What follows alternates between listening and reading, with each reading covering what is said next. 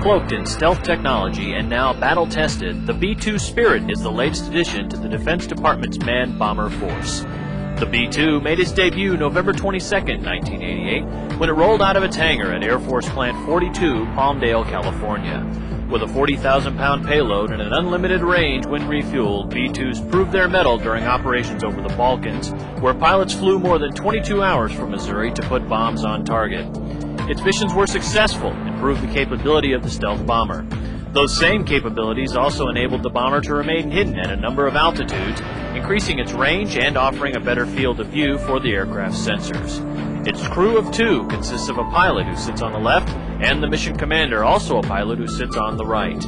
Now an Air Force veteran, the B-2 brings an unmatched capability to cross enemy lines, use massive firepower, and supplement the combat force well into the new millennium.